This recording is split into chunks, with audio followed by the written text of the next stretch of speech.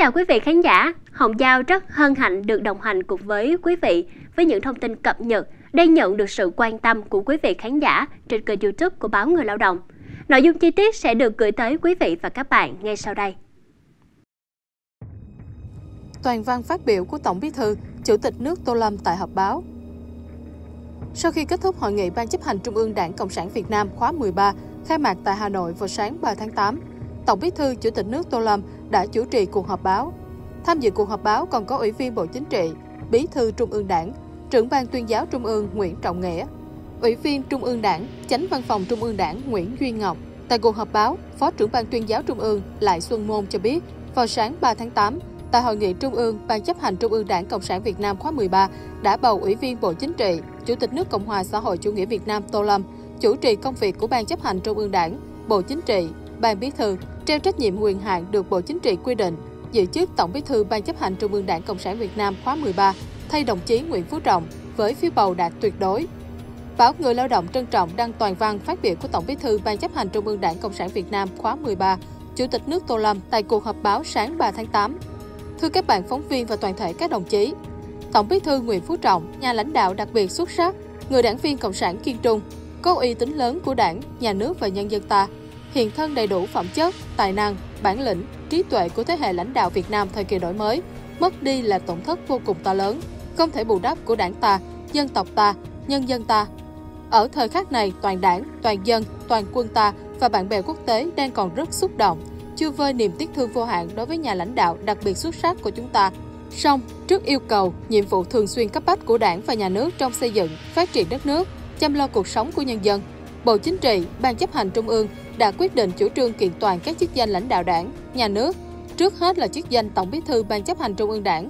Đây là yêu cầu cấp bách của đảng, của đất nước hiện nay nhằm đảm bảo vai trò lãnh đạo, thực hiện thắng lợi các mục tiêu của đại hội lần thứ 13 của đảng, chuẩn bị đại hội đảng bộ các cấp tiến tới đại hội lần thứ 14 của đảng, nền tảng vững chắc đạt các mục tiêu chiến lược kỷ niệm 100 năm thành lập đảng, 100 năm thành lập nước Việt Nam Dân Chủ Cộng Hòa, nay là Cộng hòa xã hội chủ nghĩa Việt Nam, đồng thời xác định tầm nhìn tương lai, đưa Việt Nam sánh vai với các cường quốc Nam châu, đóng góp cho hòa bình và phát triển trên thế giới.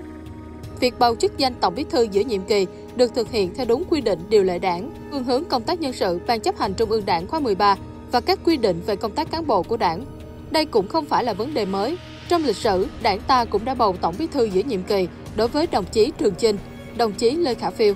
Quá trình chuẩn bị, giới thiệu nhân sự, Tổng Bí thư được thực hiện chặt chẽ, đúng nguyên tắc, đáp ứng đầy đủ tiêu chuẩn, chức danh, quy trình theo quy định của đảng. Để đảm bảo sự ổn định, kế thừa, phát triển những kinh nghiệm, thành tựu mà đồng chí Tổng Bí thư Nguyễn Phú Trọng, các đồng chí lãnh đạo tiền nhiệm và ban chấp hành trung ương các khóa trước đã đạt được, với trách nhiệm cao nhất vì sự nghiệp chung của đảng, của đất nước. Bộ Chính trị, Ban chấp hành trung ương đã thảo luận dân chủ, kỹ lưỡng, xem xét nhiều mặt và thể hiện sự thống nhất rất cao trong việc giới thiệu và bầu chức danh Tổng Bí thư Ban chấp hành Trung ương Đảng khóa 13. Được Bộ Chính trị tin tưởng giới thiệu, Ban chấp hành Trung ương Đảng tín nhiệm bầu và giao trọng trách Tổng Bí thư. Tôi nhận thức sâu sắc đây là vinh dự lớn lao, đồng thời cũng là trách nhiệm to lớn trước Đảng, nhà nước và nhân dân, trước truyền thống cha ông và lịch sử hào hùng ngàn năm văn hiến của dân tộc, trước các thế hệ lãnh đạo tiền bối, trước yêu cầu thực hiện thành công đường lối đổi mới và xây dựng chủ nghĩa xã hội ở nước ta. Trên cương vị Tổng Bí thư, tôi sẽ cùng tập thể Ban chấp hành Trung ương Đảng, Bộ Chính trị, Ban Bí thư kế thừa, phát huy mạnh mẽ truyền thống vẻ vang và kinh nghiệm quý báu của đảng ta, phát huy cao nhất tinh thần tự chủ, tự tin, tự lực, tự cường, tự hào dân tộc, tăng cường đoàn kết thống nhất trong đảng, đại đoàn kết toàn dân tộc, gắn kết tư tưởng và hành động, ý đảng và lòng dân, nỗ lực phấn đấu thực hiện thắng lợi chủ trương, đường lối của đảng, trước hết là nghị quyết đại hội đại biểu toàn quốc lần thứ 13, tận tâm, tận lực, tận hiến, đấu hy sinh vì sự nghiệp của Đảng Cộng sản Việt Nam vinh quang, vì nước Cộng hòa xã hội chủ nghĩa Việt Nam giàu mạnh, dân chủ, công bằng, văn minh, nhân dân Việt Nam có cuộc sống ấm no, hạnh phúc.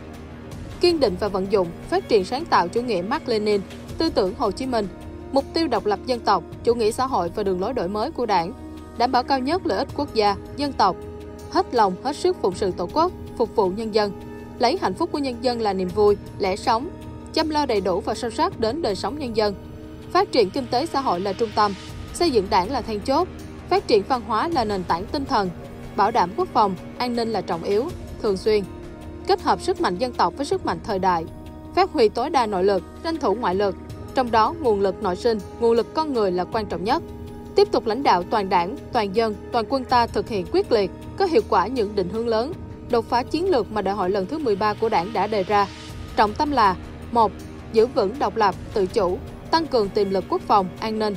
kiên quyết, kiên trì bảo vệ vững chắc độc lập, chủ quyền, thống nhất, toàn vẹn lãnh thổ, biển, đảo, vùng trời của Tổ quốc, kiên trì đường lối đối ngoại độc lập, tự chủ, đa phương hóa, đa dạng hóa, không ngừng tăng cường đóng góp của Việt Nam vào hòa bình và phát triển ở khu vực và trên thế giới. 2. Phát huy sức mạnh đại đoàn kết toàn dân tộc trong sự nghiệp xây dựng và bảo vệ Tổ quốc, kiên định lập trường, quan điểm và thực hành, dân là gốc, nhân dân là chủ thể, trung tâm của công cuộc đổi mới, bảo đảm mọi người dân đều được thụ hưởng những thành quả của đổi mới, phát triển, được sống hạnh phúc trong môi trường an ninh, an toàn, không ai bị bỏ lại phía sau.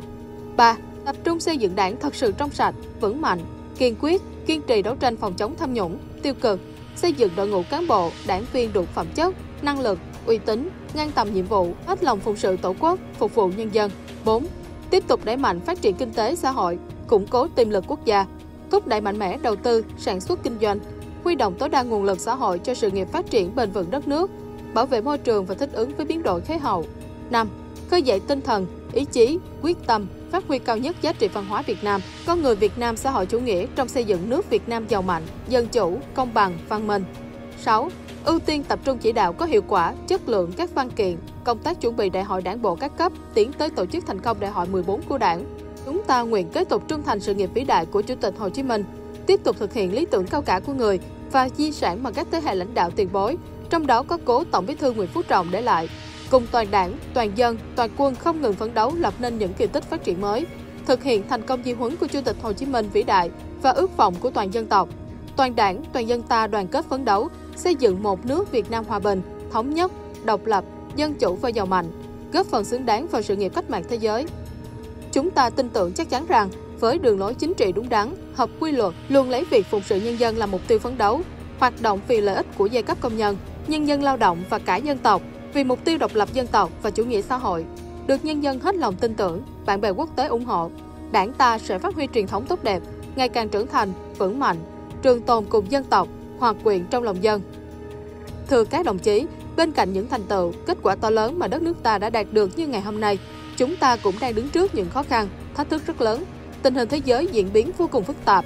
Đại hội lần thứ 14 của đảng đã đến rất gần, còn rất nhiều nhiệm vụ phải triển khai. Hôm nay, tôi được Ban chấp hành Trung ương tin tưởng giao một trọng trách rất lớn. Tôi mong tiếp tục nhận được sự giúp đỡ quý báu của các bậc lão thành cách mạng, các đồng chí lãnh đạo, nguyên lãnh đạo đảng, nhà nước, mặt trận tổ quốc và các đoàn thể, các cơ quan, ban ngành, địa phương, các giới, đồng bào, chiến sĩ cả nước, kiều bào ta ở nước ngoài và bạn bè, đối tác quốc tế, giúp tôi hoàn thành tốt nhiệm vụ được giao. Cuối cùng, một lần nữa, tôi xin bày tỏ lòng biết ơn chân thành và sâu sắc về việc đảng, nhà nước và nhân dân đã tin tưởng giao cho tôi trọng trách lớn. Kính chúc các đồng chí và các bạn sức khỏe, hạnh phúc và thành công. Xin trân trọng cảm ơn. Những thông tin vừa rồi đã khép lại chương trình ngày hôm nay. Hồng Giao rất mong nhận được sự quan tâm và đồng hành của quý vị dành cho các chương trình trên kênh YouTube của báo Người Lao động. Đừng quên nhấn chuông theo dõi chúng tôi để không bỏ lỡ bất kỳ thông tin cập nhật nào khác. Xin chào và hẹn gặp lại.